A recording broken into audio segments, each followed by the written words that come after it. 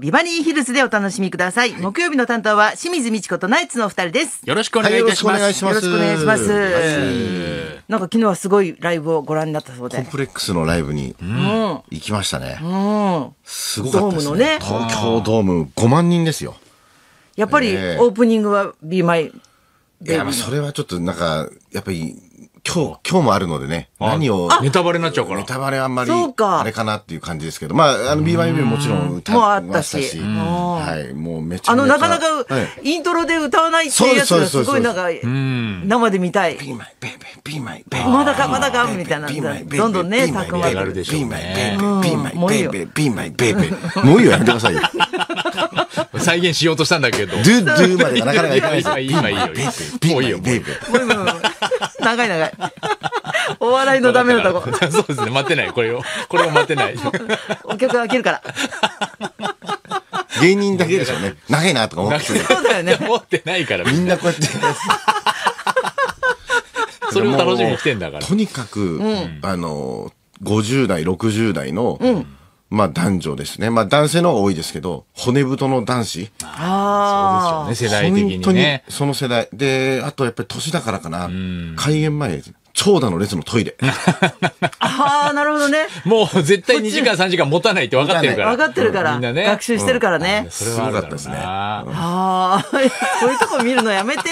いや、僕も行きましたから。あそうだねうん、でももうあまりにも並んだんで。直前トイレうんもうちょっと無大事だからね理だと思って。若い人も中にはいた？若い人は、やっぱり、いいるけど、やうん、まあでも本当少ないね。少なくはないけど、でも若い人もいっぱいいましたけど。そっか。でまあ、長い間だってね、そう活動してないから余計そうだよね。ありがたみが違うよね、でもね。でもあの、2枚ぐらいなんですね、アルバム。実際出したの。短かったんで。だからレパートリーがやっぱり、そんなにたくさんあるわけじゃないので、すごいことだね。だからみんながこう、やっぱ覚えてるというか、あの、なん100曲ぐらいあるとね、ちょっとこう、わからなくななっちゃうじゃないですか。もう大体20曲ぐらい、昨日もバーって歌って、もうほとんどがもう、もうそみんなじゃあ大合唱できる感じだね、はい。でお客さんも。も、。レパートリー少なくてごめんなさいみたいなことをなんか途中でも。あ、ちょっと、トークで言でって。そうそうそう、えう。わーみたいな感じで。ーいやそう。何でもう。わーだからもう、一言喋ると、ホテさんと。かっ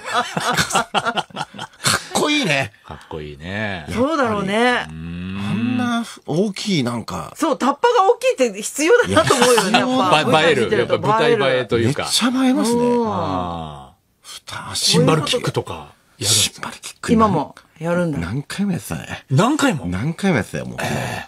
すごかったよ。あ、高っ。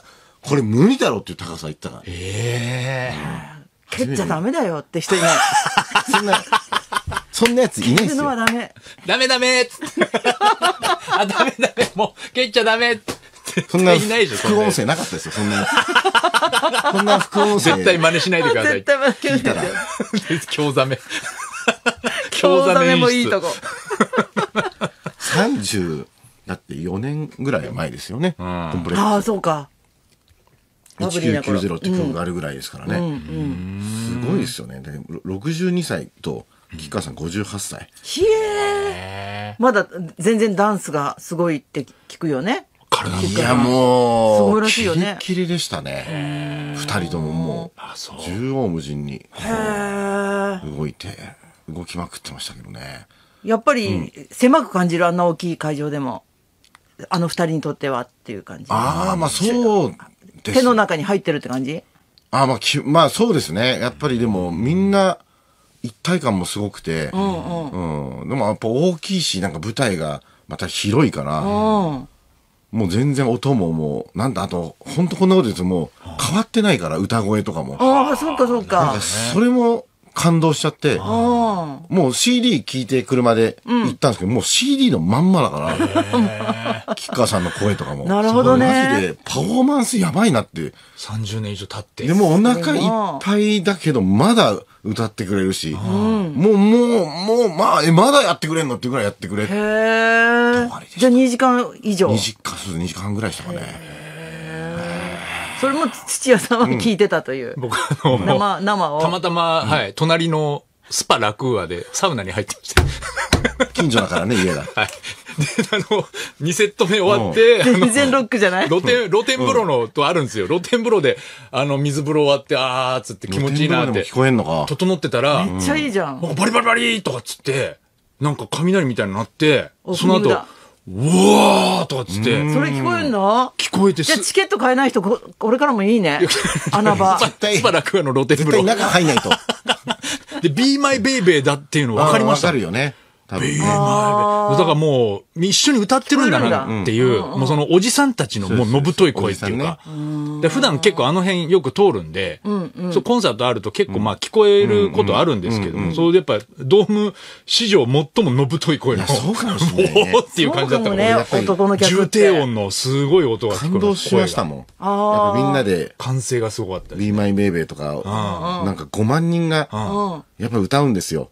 あの、Don't Stop My Love って言って、あれ声止、めないでも。あれも5万人が、なんか俺泣いちゃいましたもん、なんか普通に。感動で？はそうね。だから若い人たちが一斉にやっぱ熱狂するとかはあるけど、やっぱりその世代の男性がそうだね。一斉に声出すってなかなかないから。先々週私、観光期に行ったんですけど、その感じかな、あの、同じような世代の、まあ男、やっぱ男ばっかり。い。そうですね。うん、それで、なんかエロとかグロにすごい笑うっていう。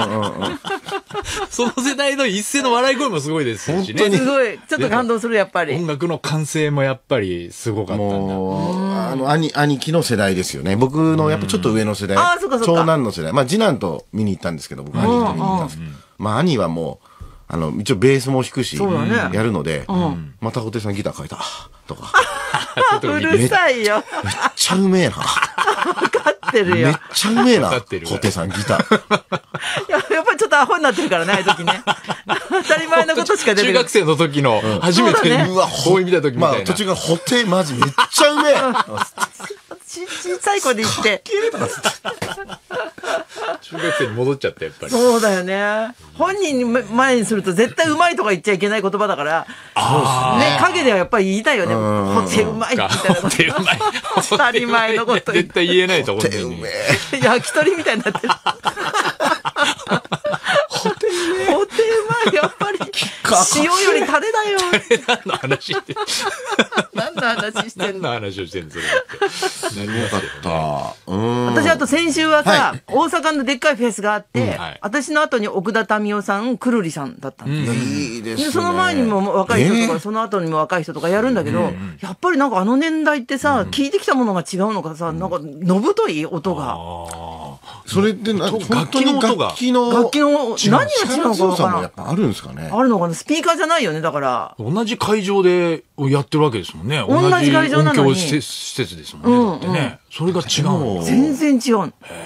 森尾義雄師匠とかボンチ師匠また、一回解約するのやめて。どんなテンション絶対慣れないじゃないですか、若手。そうかもね。あ、なんか、あと松本さんとかの、はい、わーとかあんなん若手になんないじゃないですか。本当なんかなんかあだ。の、できないんだ。できないんじゃないですか？できないんだ。やら、やらないんじゃなくてできないよね。若さでエネルギーでできるって言ったらそうじゃないんだ。そうだね。でねきないっすよ、あれ。やっぱり。そうだね。あああいう風になりたいっていう夢がさ、ちっちゃい頃見てきた。やっぱ違うんだろうね。喉とかも弱くなってんじゃないの？喉も、やっぱり。そのあ人類の対価です対価でこれは。喉が。そうかな。ほ細くなってるからね、今。細くなってるから。声出さなきゃいけないとかが、そうだ。アレルギーにも弱いからね、今の若い世代。そうです本当ですよ。体質はね、弱くなってるかもしちょれない。っとお笑いくらいなんかね、突き抜けてほしいけどな。ギスギスギッチョン、ギスギスギッチョン。大声出す芸人もいるでしょ、でも若い若手には。いいるかな？どこ見てんのよ？青木さん。そうですね。もう20年ぐらい前ですもんね。20年、そっか。若手は今、だあれ、氷録とか、弱々しく、弱々しく細くなってくる。これからですよ。それでそれですよ。とかどうしよう。声出てな細くなかったですよってくか。どんどん細ドッくなっちゃキリですって言われて泣く人いる？泣いてまあしたねんなに。嬉し涙。びしょびしょに泣いてましたね。あの人でも売れるね。ブレイク前の人を見たって感じした。面白かったですね。ねう。美味しそうでしたもんね、あの、豚ハツ。豚美味しそうじゃないけど。美味しいです。かわいそう。いろんな葛藤があった味だけどね、あれは。そうですよね。そうですよね。すごかったですね、本当昨日は。でも。ええ。いやいい体験木田太郎さんってなんか面識とかあるんですか面識はないけど、あそうですかさすがに。うん、でも名曲は93歳だね、ったんですねたくさん、うん。すごいね。番組の曲とかですよね。そう、吉本新喜新婚さんいらっしゃいとか？あとかうん作ってるんですパンチでデートとかかね。あ、そういうやつだな。ったんだなんだっけ、演歌でも有名なのあったし。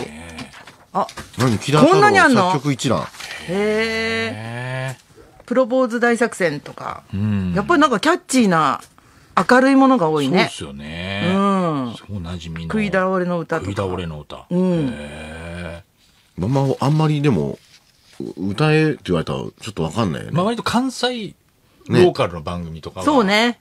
小山遊園地とかですか？朝日ペンとか。うん。うん。あ、でも結構やっぱ。うん。CM にやっぱり強いんだろうね。なるほど。すごい。すごい。木田太郎さん。ねえ、ルックスもなんかね、ななんか大衆を引きつけるものがあったもんね。愛される愛される感じだねです。よね。それではそろそろ参りましょう。えー忘れた話、忘れられた話を大募集。清水美智子と、ナイツのラジオビバリーヒルズ。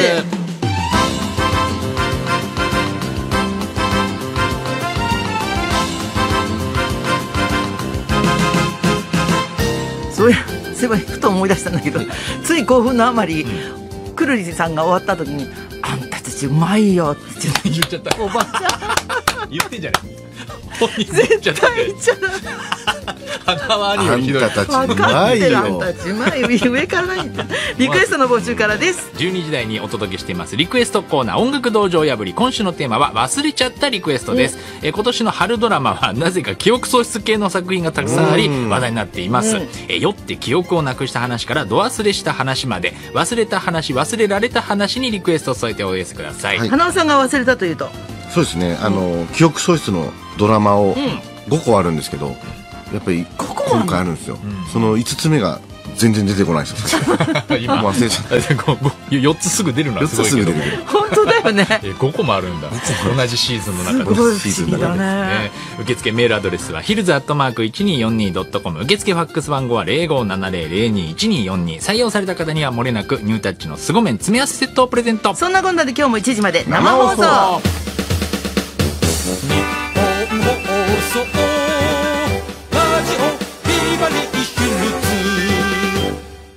口の減らないやつ。この時間はニュータッチ白鶴酒造がお送りします。謎かけを一つ。ネギとかけて何と解く？味噌と溶きます。その心は？ニュータッチ凄麺。ネギ味噌の一品。コシが強い太麺とシャキシャキおネギの味噌ラーメン。かかってないけどお湯がかかってます。さすが、ニュータッチ凄麺、ネギ味噌の一品。凄麺はすごい。うまいヌードルニュータッチ。小沢幸義です。愛を込めて、この歌を送ります。えんやまるえんやまるおいしいまるえんやまるみんなまる日本の酒、白鶴の丸。お酒は二十歳になってから。楽しくなければ吉兆じゃない。親切で明るく安心。それがパチンコ吉兆です。皆さんが安心して楽しめるよう心を込めた接客でお迎えいたします。初めてでも安心。パチンコ行くならパチンコ吉兆おかげさまで開局70周年。笑顔になれ。日本放送。日本放送。ラジオビバリーヒルズ続いてもう一つメールファックスの募集ですお便りいきなり大笑い。木曜にお届けしているのは謎かけ芸人ツッチの整えてきました。今週のお題は緑の窓口。えー JR の駅で対面で切符を販売するサービスが合理化の名のもと、どんどん姿を消していましたが、JR 東日本では、えー削減計画の凍結を発表。改めてその存在を評価する声が高まっています。そんな緑の窓口を題材に謎かけをお願いします。受付メールアドレスはヒルズアットマーク 1242.com。受付ファックス番号は0570021242。土っちに勝てば Amazon ギフトカード1000円分を差し上げます。その他、すべてのメールファックスから抽選で3名様に番組特製名シールをプレゼント。たくさんのメールお待ちしてます。ああ、社長が困ってる。まだ見積もりが見つからないのか。だから営業に行けません。それ N にお任せ N? な、長澤まさみさんはい N にお任せならデジタル化で業務をすっきり快適に NTT 東日本グループですそれだ中央事務所よりクレジットカードをご利用した経験のある皆様へクレジットカードのリボ払いにも過払い金があることをご存知ですか？なぜなら、キャッシングのリボ払いのお支払い時に利息を払いすぎているからです。有名なあのスーパーやデパート、ネット通販のカードも対象です。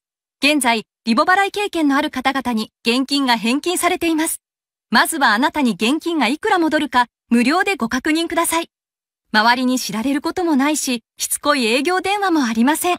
お電話は0120-10-10-10 10-10-10代表は法務大臣認定司法書士の田中修平。今日夕方5時50分からは「あつらじいつでもみんなのプロ野球日本放送ショーアップナイター」今夜唯一のプロ野球中日対阪神を生中継両チームそしてメジャーリーグで活躍福留孝介さんの解説でお送りしますクイズトリプルチャンスは美味しいメロンをプレゼントふみおのちょっといい話。この時間は、高立地続々、オープンハウスがお送りします。東京に家を持とうオープンハウス。東京に家を持とうオープンハウス？東京に家を持とうオープンハウス。え何？東京に家を持とうオープンハウス。どういうこと？東京に家を持とうオープンハウス。あだから何なのよ！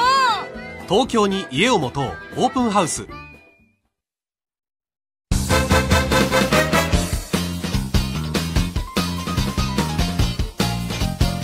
みっちゃんと、ナイツ原信之と。土屋信之のラジオビバリーヒルズさて今日のちょっといい話は、えーおすすめのお笑いイベントのお知らせです。まずは漫才協会外ブリジの高田先生プロデュース、ザ東京漫才の情報を漫才協会主催工業の中では毎回大入り満員のドル箱公演となってますが、えー次回は7月3日にピン芸人大集合として、えーお送りします。えー元ホームランだった谷氏さん、えーナイツ花輪さんのお兄さんの花輪さん、はい謎かけ名人ねずっち、ナイツ独演会の司会でもおなじみ中津川玄くん、さらにボーイズバラエティ協会所属ですが高田先生ご推薦、ムード歌謡漫談のタブレット潤さんも登場。面白いよね。はい。い。つものように我々も出演します。ピン芸人ならではの苦悩や喜びにもフォーカスします。7月3日。声の弱い方ですよね。声の弱い この人も。腹から、っていつも。急にでかくなって弱いかもしれないですけど。7月3日水曜夜7時開演。会場はいつもの浅草東洋館。料金は3800円。前売りチケットは6月7日金曜のお昼11時からカンフェティで発売開始となります。えーそしてすでにチケットが発売中なのが、マセキ芸能者所属の芸歴9年以下芸人が競う、マセキアンダー9グランプリ。えーこちらは来週21日火曜日に野方区民ホールで準決勝、さらに決勝が行われます。MC はニッチェ。ただいま、えーチケットピアで絶賛前売り中ですので、よかったら、えー雲南や出川さん、ナイツを超えるかもしれない若手芸人が羽ばたく瞬間を抑えてください。えさらに時計やブランド品も少量でも無料で査定に伺います。お電話は0120-157-999、157-999。出張買取はカメラの北村。高価買取キャンペーン中。安全な建設機械を買いたいな。中小建設事業者の皆さん、補助金がありますよ。え？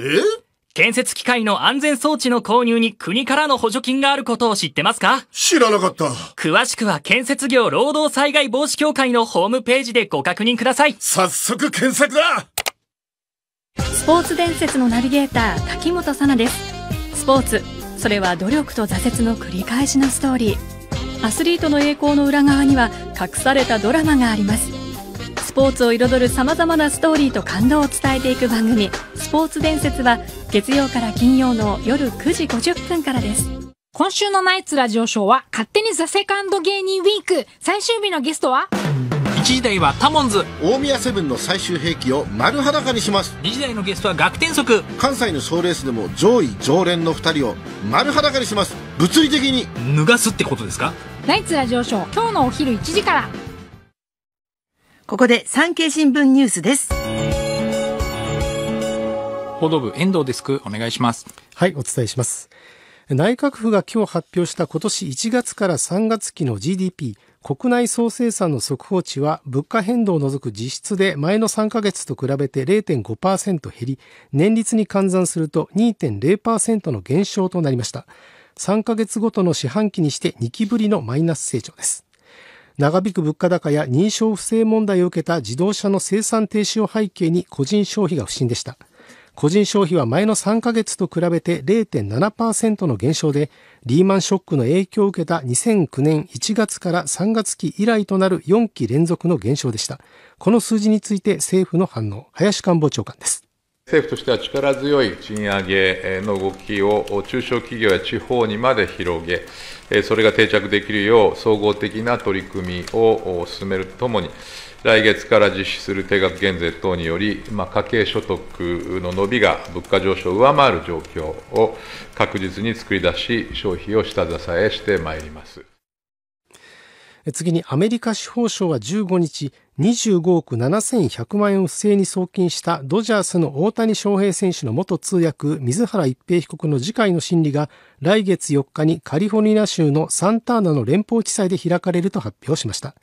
水原被告は14日の罪状認否では手続き上の理由から形式的に無罪を主張していましたが次回の審理では銀行詐欺などの罪を認める見通しです一方、大谷選手がアメリカの連邦地裁に対して詐欺行為が自身に与えた影響を説明する見通しであることが分かりました。これはアメリカの NBC テレビが14日に伝えたもので、大谷選手は説明を文書の形で提出するとみられます。それから自民党は派閥の政治資金パーティー裏金事件を受けた政治資金規正法改正の条文案を今日の総務部会などの合同会議で大筋で了承しました。パーティー券購入者の公開基準額を10万円を超える場合に引き下げる内容で、この基準額や政策活動費の使い道の公開をめぐって公明党と溝があり、自民党単独で国会に提出するかどうかも論点となります。これに対して譲歩して自民党案に乗ることはしないと話す立憲民主党の安住国会対策委員長です。これだけの事件を起こした政党の割には、改革をしていこうとか、自ら正していこうっていう姿勢が、いや、エネルギーがないことが残念ですよね。我々が譲歩して乗っかるということにはならないと思いますね。それからロシアのプーチン大統領は今日中国北京を訪問しました。この日のうちに習近平国家主席と会談し、共同声明を発表する見通しです。両首脳は結束を誇示し、ウクライナ侵攻や台湾問題で対立する欧米を牽制します。両国は今年で国交樹立75年を迎え、外交や安全保障、経済など各分野で戦略的協力関係を強化する方針です。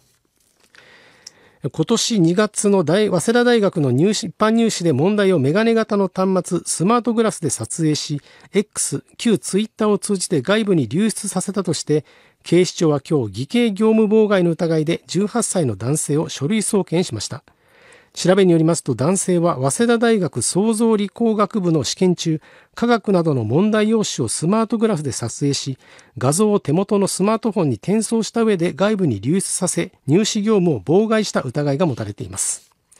男性は X で連絡を取った外部の複数の人物に回答を求めていました。男性はカンニング以上の不正をやってしまった。大学の方や不正に巻き込んだ人に申し訳ないと話しているということです。さらに内閣府が今日発表した今年1月から3月期の GDP 国内総生産の速報値、物価変動を除く実質で前の3ヶ月と比べて0.5%減り、年率に換算すると2.0%の減少となりました。3ヶ月ごとの四半期にして2期ぶりのマイナス成長となっています。この時間のニュースは以上です。ありがとうございました。あつらじいつでもみんなのプロ野球日本放送ショーアップナイター今日はカードローンの SMBC モビット文化シャッター他の提供でプロ野球の熱戦を試合終了まで完全実況生中継します。日本放送ショーアップナイターは今日夕方5時50分から。パワーウィズハート関西電力がお送りする日本放送天気予報です。今日は全国的に大気の状態が不安定となっています。関東地方も沿岸部では昼頃にかけて雨で降り方が強まるところもあるでしょう。東京も今日は曇り時々晴れ。午後になると徐々に晴れてきますが短い時間にざっと強く雨が降ることもあります。天気の急変に注意してください。また暖かい南風が強まり各地の最高気温は26度前後まで上がるでしょう。以上天気予報でした。環境対策や経費削減課題が山積み。それなら全国で対応してくれる関西電力へ。検索ワードは脱炭素ソリューション。へえ自社の課題から最適なソリューションを診断できるのね。たくさんの事例もあって分かりやすいわ。早速相談してみよう。電気だけじゃないソリューションを。関西電力。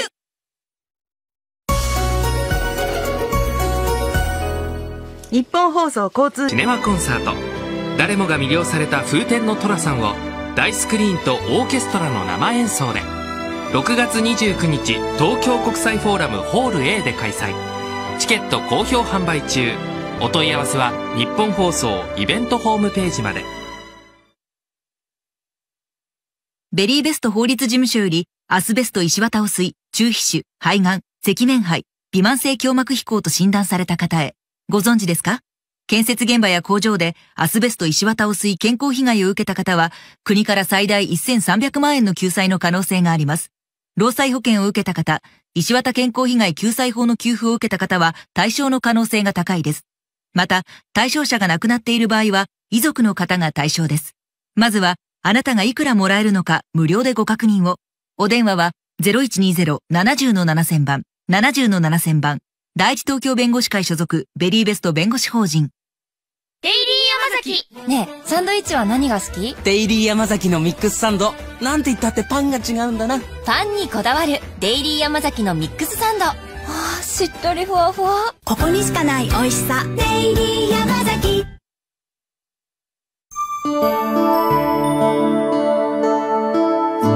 あしみすのみっちゃんと。ナイツ花のべゆきと。土屋信之のラジオビバリーヒルズ。今日の音楽道場破りのテーマは忘れちゃったリクエストです。テリー東です。忘れた頃にやってきますよ。僕はいつも近くにいますよ。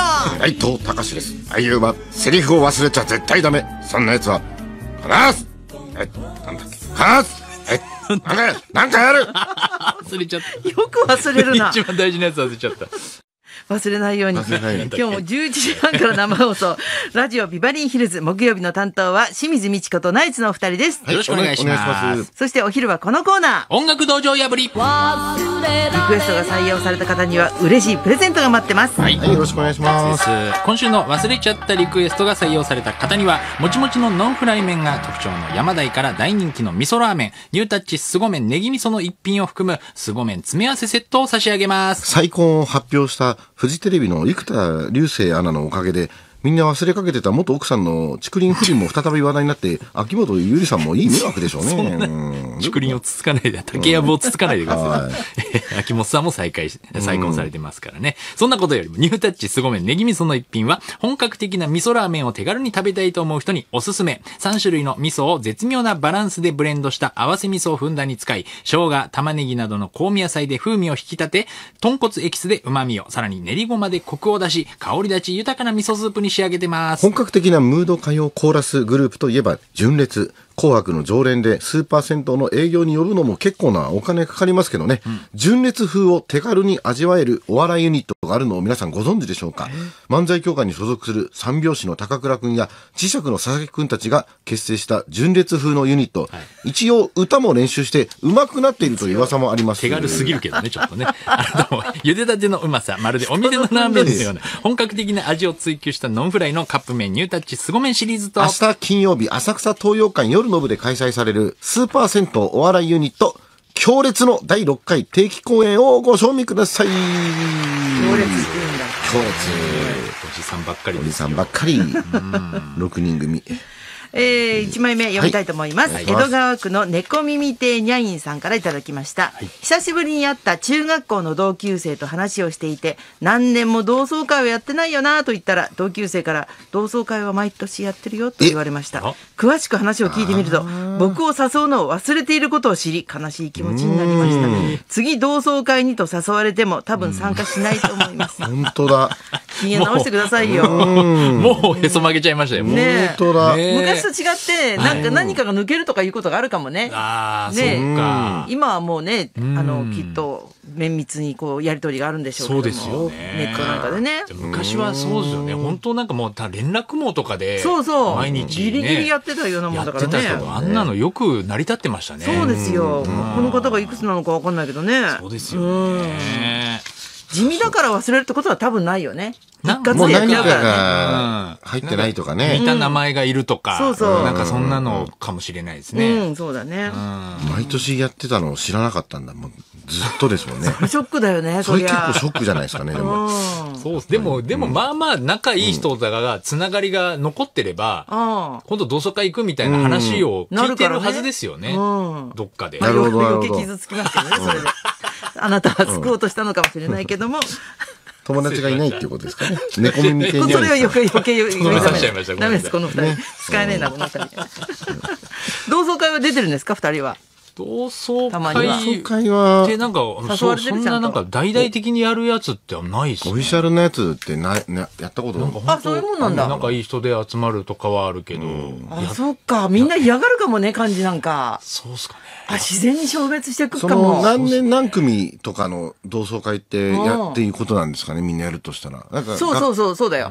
そんな仲良かったクラスの人いるかな？中学とかも、中高あったよ大学生ぐらいまではありましたけど、中学の同同窓会、うん。大学になるぐらいまであったけど、やっぱ自然となくなってきましたね。そうね。うん。その漢字誰がやるんだよ、先力生がも。何周年記念とか、うんなんかそういう時にやるんじゃなかったでしたっけ？先生も若若ければあれだけどね。そうですよねうん。出血できないとか。やっぱ40過ぎてってない漢字がめんどくさいですよね。漢字がいや、うん、うん。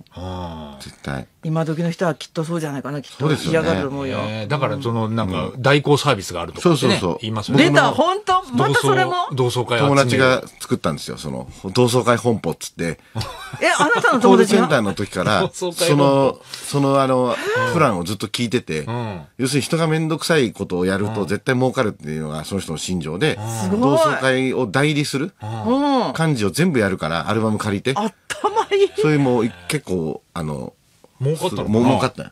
そこの二次会に、コールセンターの仲間の芸人を司会使ってくれてみんな一時期。あ、え、そんな営業があったんだ。営業あった。同窓会本舗すごい同窓会本舗さんのおかげでみたいな。そんな営業だ。すごいね。よく考えたあらら、面倒面倒なことか、全部。確かにそうだね。面倒なことって、こっちがか考えるよりもよっぽどなんか苦痛になるからね。そうなんですよね。で、こういう、あの、連絡ミスとかも減りますしね、多分。そうだよね。責任感が違うから。うん。ああ。あの、会社辞めるっていうサービスはね、今有名だけどね。なんかありますね代行そうなんですか？退社代行サービス。そうそうそうそうそう。自すっごい忙しいらしいよ。うん。えもう言いたくないから、自分で言いに行きたくないから。うん電話でしてくれるんだよね、確かね。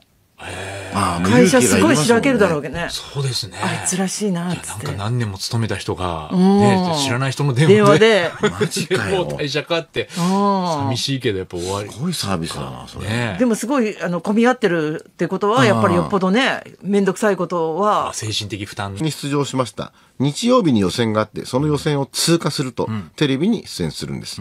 予選には100人が出場し、私は20番目に歌うことになったんですが、19番目の人が歌い終わって、ついに私が歌う曲のイントロが流れた瞬間、あまりの緊張で全ての歌詞忘れてしまいました。全ての歌詞を忘れてしまったので、途中から歌うこともできず、結局一言も声を出さずに終わってしまいました。予選の出場者全員に自分が歌っている映像のビデオテープを 記念にプレゼントしてくれるんですけど、私はビデオテープをもらわずに、徒歩、とぼとぼ家に帰りました。情けない思い出です。ええ緊張したんだ。そうだね。うん。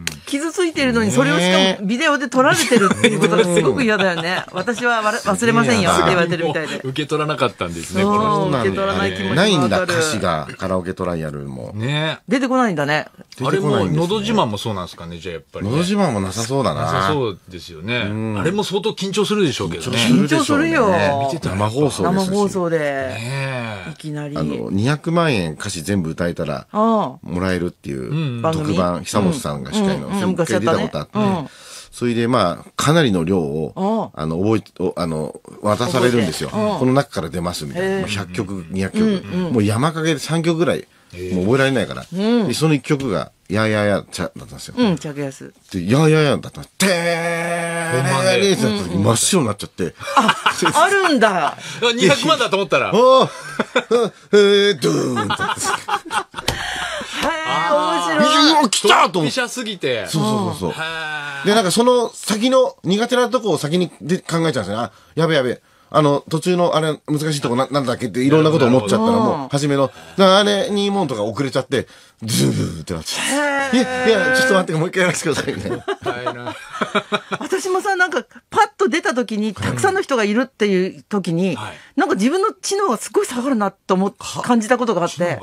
うん、だ決め、自分の中で決めてることなのに、それが出てこないとかさ、なんか集中できないわけ。できることが。できる、いつ、普段だったらできることはできないと思って、で、なんかで調べたら、猿でも、例えば、これの問題解いたら、これをあげるよ。でも今回の問題は、こんな美味しい果実だよって言われると、すごい緊張し始めて、簡単なやつができなくなるんだって。だからすごい報酬がでかいと、人間だけじゃないんだ。そうなんだって。緊張する。もう報酬のでかさで緊張する。でかさで、だから、1万人に受けたいって思うがあまり、なんか報酬がでかいから恥ずかしい。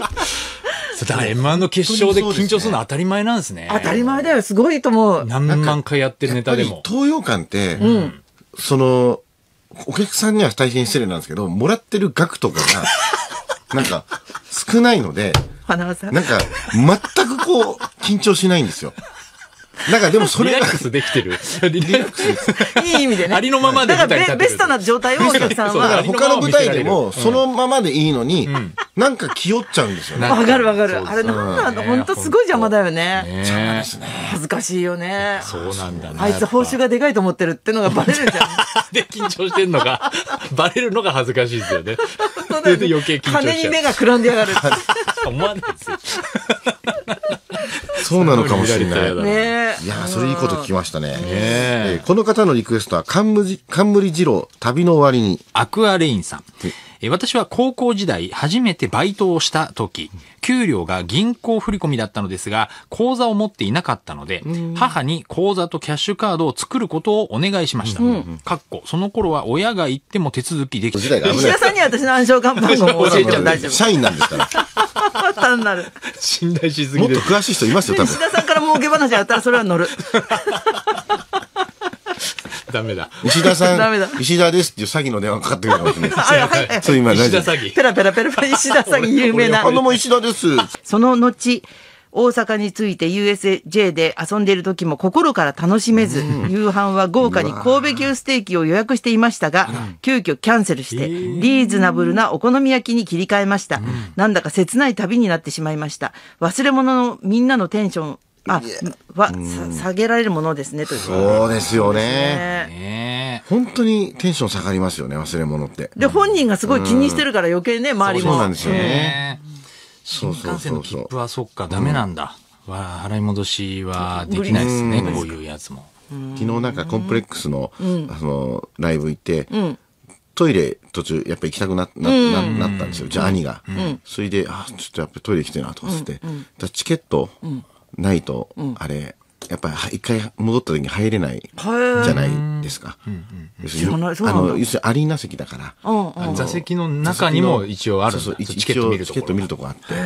だからそれをなんか、んなんかどっか行っちゃったっつって。で、俺は持ってたんですけど、うん。俺、俺も行きたかったから、うん。俺だけ行って。しなさいよ、順番で。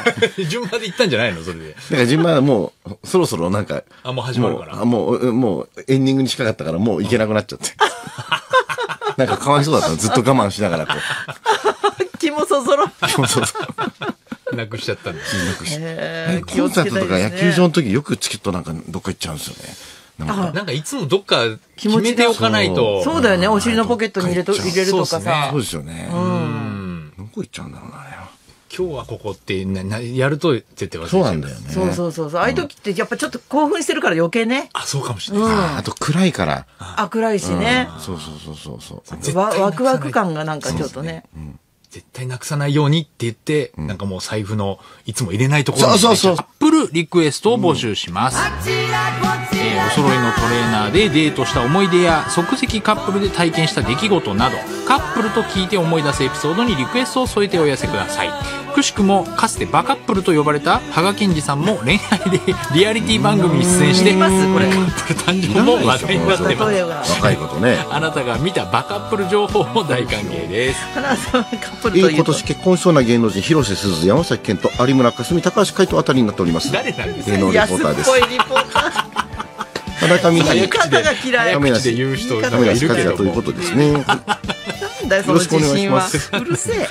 受付メールアドレスはヒルズアットマーク 1242.com はがきは郵便番号100-8439日本放送ラジオビバリーヒルズ音楽道場破りの係までたくさんのリクエストお待ちしてますジオビバリーヒルズアパートション空いてて困ったどなたか借りてくださいな。それならザ・リーグ築年数問わず空いてるお部屋借り上げます。一部屋からの賃貸保証はリーブライフ21のザ・リーグにお任せ045-325-5600ザ・リーグクレーン建設機械玉掛け高所フォークなどの免許はさくらクレーン学校。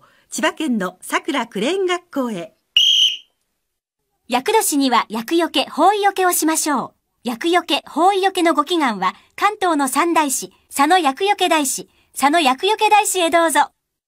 ベリーベスト法律事務所より B 型肝炎の方へ最大3600万円の給付金制度のお知らせです。次の方は給付の可能性があります。昭和16年から昭和63年生まれの方。小学校で注射を受けた方。一度でも B 型肝炎と言われた方。実はこれらの対象者の約5人に4人が給付を受けていません。特に現在症状のない方と家族を肝臓病で亡くされたご遺族の方は注意が必要です。自分は対象じゃないと思っている方でも給付金を受け取れることが多いので確認はとても大事です。まずはあなたも対象かご確認を。この給付金には請求期限があります。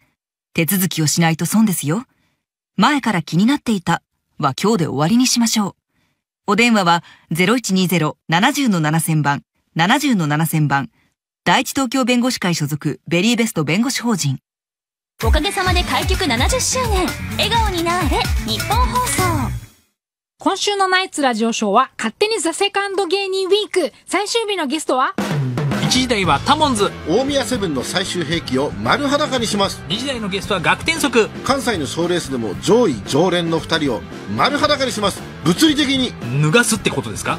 ナイツラジオショー。今日のお昼1時から。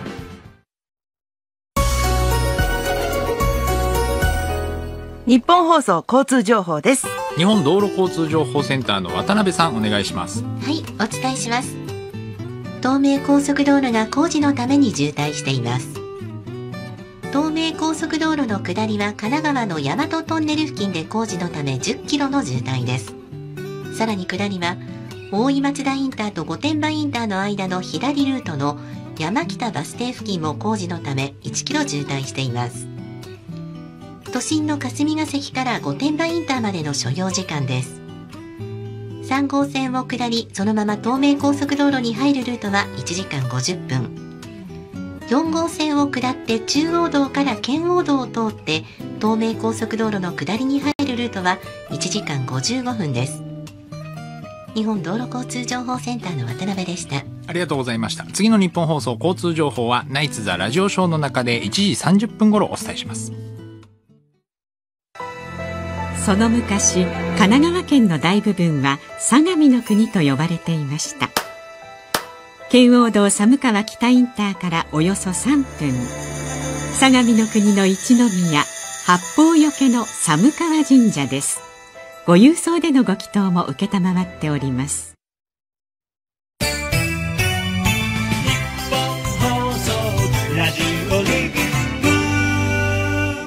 続いてはラジオリビングです。今日はパナソニック最新モデル、脱臭機能付き省エネ温水洗浄便座のご紹介です。あなたとハッピーで朝から海外の臭そうなトイレ事情を中瀬ゆかりさんと熱く語っていた柿花アナ。朝ごはん時によくそんな話をと思ってましたが、すべてはラジオリビングのためだったということで、水に流したいと思います。伏線ベタの柿花さん。そういうところが若干鼻につくと言われがちな柿花です。今日のラジオリビングはパナソニック脱臭機能付き省エネ温水洗浄便座の最新モデルをご紹介します。今回の特徴はとことんまで節電機能にこだわっていることです。20年前の製品と比べて電気代が40%以上も削減します。生活パターンを曜日ごとに学習して使用しない時間帯は自動節電。ですから省エネで節電もできる。家計に嬉しいですよね。しかも最新モデルですから機能性も抜群です。座った瞬間自動で嫌な匂いを除去してくれる脱臭機能付き。またノズル部分はつなぎ目なしのステンレスノズルで使用前と使用後自動でノズル洗浄してくれるのでいつでも清潔なんです。パナソニック最新モデル脱臭機能付き省エネ温水洗浄便座。ある工事会社の見積もりでは標準工事費込み税込みで6万500円のところ。ラジオリビングでは標準取付工事費込みで税込み3万9800円。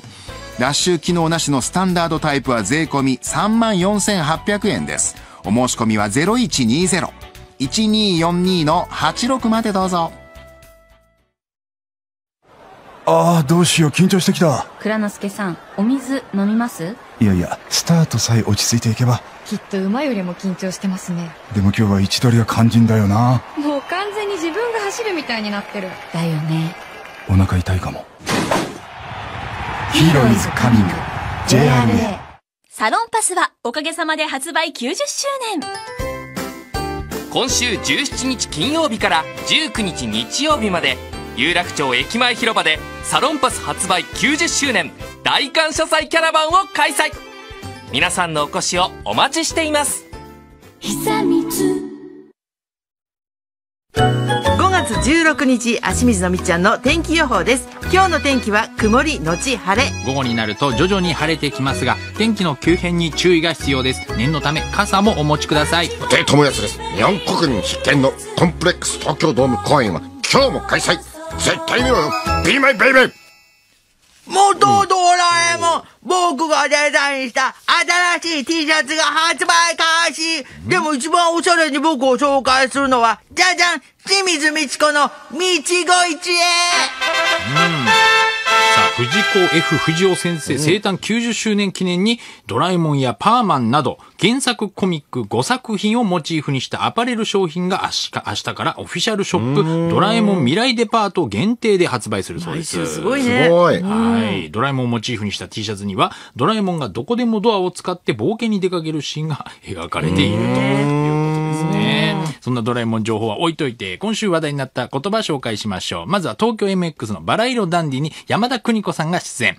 日本テレビの三浦麻美アナウンサーが、6月1日付の人事で管理職資格のチーフスペシャリストに昇格することについてコメントしました。いやいや、どうも、山田邦子ですけどね、まあ、タレントさんとね、アナウンサーさんっていうのは、ちょっと違うはずなんですけどもね、フリーになるとみんなタレントさんみたいになっていきますよね。品性というか、あの、知性というのはね、あってほしいなと思ってますね。あと、三浦ちゃんはね、制作側にもさっと回れるというか、そういうところができるアナウンサーだと私は思ってますね。行ってみよう 何を？どこへ？言わないの、最近の客は生意気だな。客の生意気じゃないよ。そう三だ浦ちゃんねうん。すごいですよねね本当に三浦さんって。毎朝ねまた出ててね忙しいでしょうしねなんかどんどんこう日テレでこう出世していくそタイプかもしれないですね。フリーにならずに。そうだよね珍しいよね TBS の安住アナとかうね。ん、しっかり者。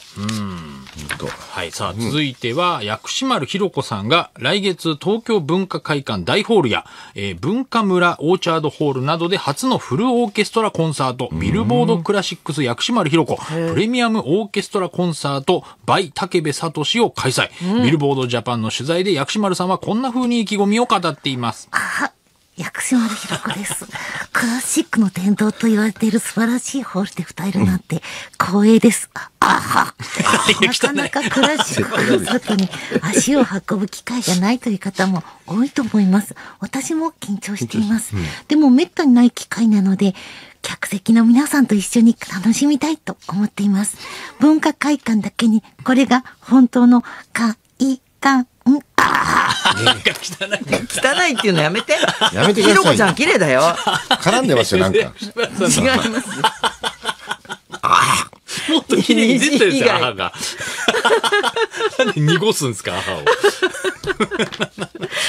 最後のね、一行は清水さん創作ですけども。うん失礼しました快感ということでね。百島ひろ子さん。ねはい。さあ、お次は。行ってみたいよね。行ってみたいですね、こういう。本当ですね。確かに。こちら気持ちいい。はい。さあ、お次は、えー、将棋の藤井聡太名人と、豊島九段が対戦する第82期名人戦7番勝負第3局が先週羽田空港第一ターミナルで、えー、刺され、うん、藤井名人が95手で勝ちました。まあそうですね。序盤は激しくなるそうな形だなというふうに思ったんですけど、中盤にあのピンチにいるので、それで皆さん判断の難しい一局だなというふうに思いましたけども、対局ですけど、まあ、まあ、飛行機の離着陸の様子がよく見て、まあ、離婚した人には多かったと思います。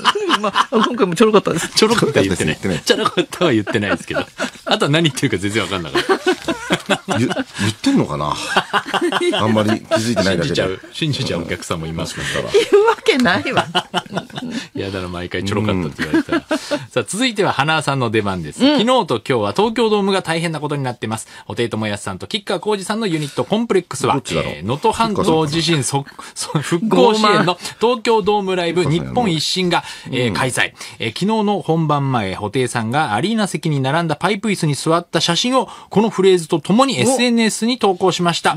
Are you ready? うわかっこいい、昨日もお昼前からグッズを求めて長蛇の列ができていたそうですが、そこで起こったのが電子決済ペイペイの通信障害。そうなんかそうだったんだよね。近くに設けられていた物販会場も決済ができない人が続出して混乱状態となったそうです。確かに16時半会場。で18時半開演。昨日、今日はちょっと時間違うんですけど、だから、えらい、18時ぐらいに僕着いたんですよ、東洋館終わって。すげえ混んでて、まだ、なんで入なんで入ってないんだろうと思ってたら、結構そういうので、もう入場の入り口も、それで。いや、いや、あの、多分グッズとかでそれで遅くなっちゃったから、あってことなんみんなが、多分そういうのあったんだろう。すごい。あったんだ。昨日ね、大変な日だったもんね。ペイペイよかったですね、無事にでもそれでも始められて。障害でそうなっちゃうんですね。大変だね、それは。便利な分ね。うん。一平さんの列も関係ないけど長かったよね、すごい。一平さんの列？早く入れてあげろよって思うんだけど、入れてあげる。裁判の？裁判裁判のやつ。そうなんですかね。ずっとだから無視をしてる。その気持ちもわかるんだけど、それがなかなか進んでいかないから、ずっと無視しなきゃいけないのが。さささっと行きたいところなんだけど。ちょっと疲れちゃうとなんか、すげえ嫌です間が持たない。すごく嫌だよ。ずっと質問、質問攻めされる。確かに。えー、さあ、おしまいは、えー、室井ゆずきさんの X から、ジム行って原稿あげて。ジム行って原稿あげて。親父読んでご飯。親父読んでご飯。鳥手に入ったから。鳥手に入ったから。ヨネに褒めてもらった。サム。サムゲタン。あ、ヨネに褒めてもらったサムゲタン。なんか昨日もうコンサート行った後から Be My Baby に聞こえないんですよ。ないでしょ。ビンビンビンビンビンビンビンゲタン。可愛いですけども。室井さんの Be My Baby。サムゲタンを作って褒めてもらったという。えー、料理上手ですね。本当ですよね、いつも。サムゲタンうまそう、これ。メニューが作ってない、作ったことない。サムゲタンうまそうだね。うまそう。すごい美味しそう。さあ来週はどんな言葉と出会えるのかどうぞお楽しみに。ここで、えー、期限が過ぎると特典が受けられないことがあります。まずは無料であなたの相続税をご確認ください。お電話は0120-400-800、400-800。JA 茨城朝日村のメロン甘さってわかるの？メロンについている QR コードを読み取れば糖度も食べ頃もすぐにわかりますよ。茨城朝日村のメロンだからできる！これは便利。いつだって確かな美味しさ。メロンは JA 茨城朝日村。ショーアップナイタートゥデイこの時間はミラースホールディングス三菱ふそう文化シャッターがお送りします。宝レーベン。その暮らしは新時代を切り開く。生き方をデザインする住まい。宝レーベンのマンションブランド。レーベン。新しいキャンターのエンジンは 4P10 プラス搭載。燃費が良く耐久性もある。液晶メーターやステアリングスイッチなどインテリアがモダンに一新。もちろん安全装備も充実。モデルチェンジで新時代へ。三菱ふそう新キャンター登場。大雨です。雨水です。僕らは誰にも止められない。建物にもジャブジャブ入るもう何これ入れないなんで水を調子に乗らせない。水害の備えに文化シャッターの止水マスターシリーズ。文化シャッター。ショーアップナイタートゥデイ。さあショーアップナイター今夜はバンテリンドーム名古屋から中日対阪神戦を解説福留孝介さん実況東海ラジオ吉川秀樹アナウンサーで試合終了まで完全実況生中継でお届けします。阪神がね佐藤輝明選手が不審で2軍落ちしてね近本選手が、あの1番だったんですけどね、まあ、クリーンナップ3番打って今ね、打順を近本の1番ができないっていうのもなかなか苦しい状況ではあるんですけどそれでも昨日1対0でね、勝ちましてね、それ中日としてはやっぱりずるずるいかないでほしいですね。今日バンテリンでちょっと頑張ってね、勝ってほしいですけどね。ねどうなるでしょうか、はい。えー美味しいメロンも当たります。あなたもあつらじいつでもみんなのプロ野球日本放送ショーアップナイターで感動と興奮をお楽しみくださいごめん。私あなたのことタイプじゃないのよね。俺も？俺？も？今もって言った？も？も。も？も？も？も？も？も？も？も？モビットですから貸付条件をご確認の上ご利用は計画的に。サトルって学生時代何の授業が好きだった？国語？数学？俺は、カジマ。カジマ？そんな教科あった？鹿島建設は実際のプロジェクトを題材にした教材で高校生の探求心を育む次世代教育に取り組んでいます100年を作る会社ヘイこの時間は SMBC モビット、鹿島建設、富士パシフィックミュージックがお送りしました。歌手生活60年記念五木ひろしスペシャルコンサート2024-2025 8月22日午後2時ウエスタ川越大ホール。チケットのお問い合わせは03-3355-3553 IS まで。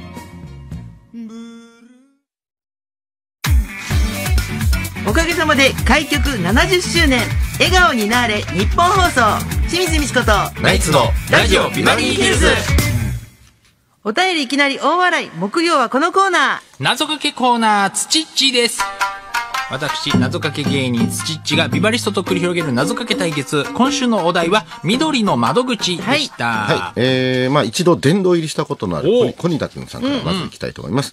緑の窓口とかけて、コロナ禍でのビールかけと解きます。その心は？縮小を見送りました。うまい。縮小するのを見送った。なるほど。さすがです。よシンプルでうまいですね。窓口ね。えー、鳩宗の大群さんです。券売機よりも緑の窓口の方が好きだとかけて、カップルが別れて友達に戻った理由と解きます。その心は？友人の方が楽でしょう。友人ね。なるほどね。ある人と書いて友人。なるほど。やっぱそう券売機ね難しいって人いますからね。まあ、うまい。K つとむさんです。はい高齢者は乗り換えが多い長距離旅の時、緑の窓口があるとありがたいと思っているとかけて、災害現場でドローンが活躍と解きます。その心は？発見が楽でしょう。なるほど。発見が楽。あーなるうまいですね。これですよね。発見が楽。セットアトムさんです。4勝です。週末の緑の窓口とかけて、でっかい鳥と解きます。鳥。その心は？どちらも、コンドル。面白い。シンプル。コンドル、混んでますもんね。週末窓口並びますからね。うん週末は。サンチョさんも現在4勝です。緑の窓口とかけて、まんじゅう甘くないけど欲しい？と解きます。その心は？どちらも、あん、ないがいる？あんないがあんないがいる。ないんだ。あん甘くがないんだ。皮だけなんだ。なるほど。カルカンだ。カルカンありますはい。あれも美味しいですけど。チャボさんです。緑の窓口で、ルートの相談とかけてお、超多忙な芸人のスケジュールを調整したマネージャーと解きます。その心は？時間最短で休め。時間最短で休め。休めのやつそうなんだ。をチケット欲しいか窓ら口でねやると。ああ、そういうのやってくれるんだ。そうそうそうそう。そっか。あ、いいですね。教えてくれるそういうのね。大変な仕事でしたね考えてみたらね。事ですね。うん。生まれたてのおじさんさんです。緑の窓口でできることとかけて、大好きな家計みやこにゃんの写真集は何度見ても飽きないし、彼女の新しい魅力を僕に教えてくれる。と解く。その心は？どちらも、いつも発見ができます。アホの言い方。PS、よく見たら。よかったね。よく見たら、みやこちゃんに、右ほっぺに可愛いほくろがあることを最近知りましたよ発見ん。だ、最近。ねえ。立てた上に、立てた上にほくろ見つけんなそうよ。なんだな。発見したんだよ、生まれてうんきたありがとうございます。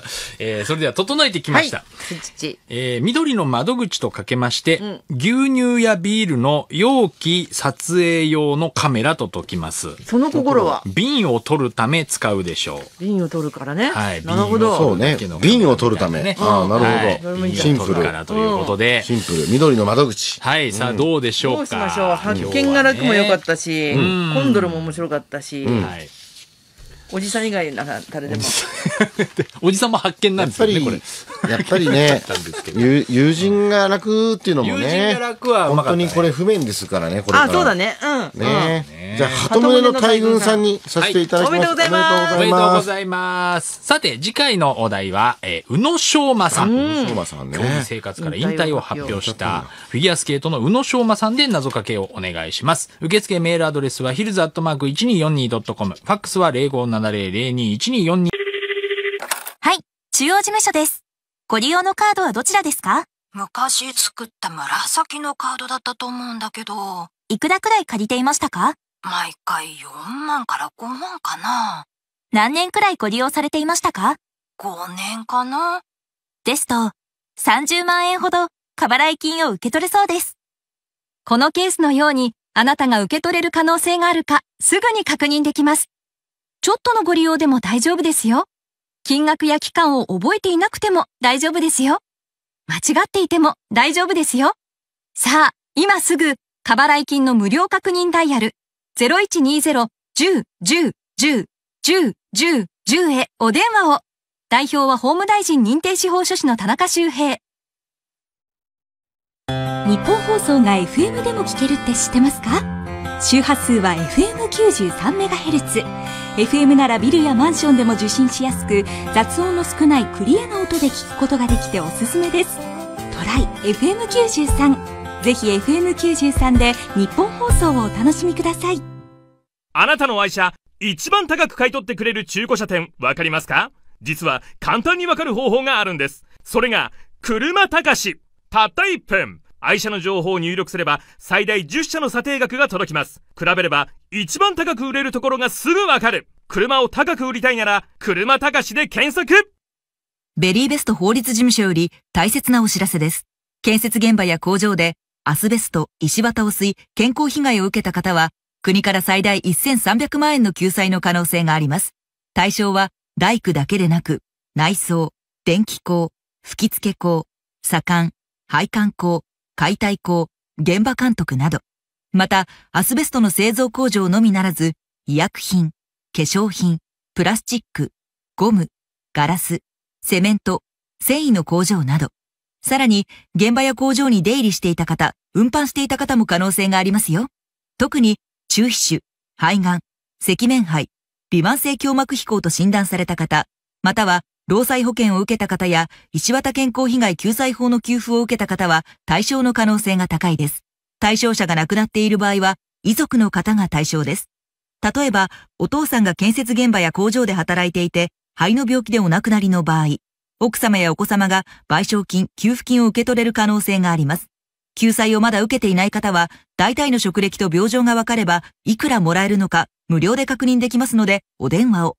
0120-70-7000番、70-7000番、第一東京弁護士会所属、ベリーベスト弁護士法人。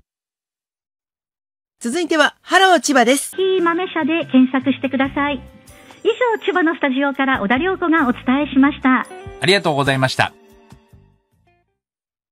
食べ頃のメロンってどれかな？どれを選んだらいいのかわかんない。それなら JA 茨城朝日村のメロン QR コードを読み取ればほら糖度や食べ頃がわかる本当だって、あなた誰？生産者の N マですはあ。メロンは JA 茨城朝日村ベリーベスト法律事務所より大切なお知らせです。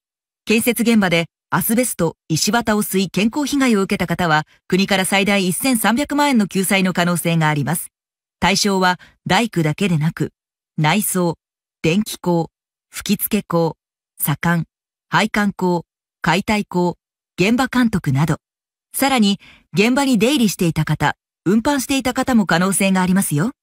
特に中皮腫、肺がん、赤面肺、微慢性胸膜飛行と診断された方、または労災保険を受けた方や一綿健康被害救済法の給付を受けた方は対象の可能性が高いです。対象者が亡くなっている場合は遺族の方が対象です。大体の職歴と病状が分かればあなたがいくらもらえるのか無料で確認できます。お電話は0120-70-7000番、70-7000番、第一東京弁護士会所属ベリーベスト弁護士法人。ラジオを聞いている経営者や企業の宣伝担当の皆様日本放送であなたの会社やお店の宣伝をしてみませんか？会社や商品の名前をもっと知ってほしい新商品サービスを宣伝したい。そんな方はぜひ日本放送企画書サイトをご覧ください。サイトではラジオやイベントによる広告事例や音声 CM などさまざまな企画を掲載しています。広告のお仕事をされている方も大歓迎。今すぐ日本放送企画書サイトで検索してください。めんなさいねはい。そして金曜日バリーです。ゲストは桂竹丸師匠うんですね。えこの後1時からナイツザラジオショー。1時台タモンズ、2時台学天則が登場。ザ・セカンド芸人ウィークですね。はいよろしくお願いします,、はいこの後も日本放送でお楽しみください、メールいただきはいお願いします。ラジオネームチュウスケさん、花輪さんは東洋館では緊張しないとおっしゃってましたが、ザ・東京漫才で満員の東洋館に出演した時のビッグボーイズ鍋師匠の緊張は客席にも伝わってきました。かわいい。案の定頭真っ白になり途中でネタを止めてしまったのが印象に残っています。膝小僧の顔を仕込み忘れるなど他にもいろいろ段取普段と違いました本当に緊張しいだよね鍋さんってね。テレビとか、ね、顔に出ますもんね。顔に真っ青になるもんね。真っ青になる。こう なってるけど元気だからもう戦落ちです。歌ったビデオはもらえないけど、ロビーでは10分ぐらい遅れたモニターが流れるので自分が歌った姿を見られますね。そうなんだ。そんなちょっと遅れて流れるんだね。ね。うんサービスかね。サービスなんでしょうね。そのためなんだ。へえすごい。なんかものすごく予選厳しいらしいよね。うん。そうですよね。激戦で。ね。はい、ありがとうございました。はい、ビバリーはまた明日です、ここまでのお相手は清水美智子と。ナイツ土屋信之と。花信之でした。ごきげんよう。さよなら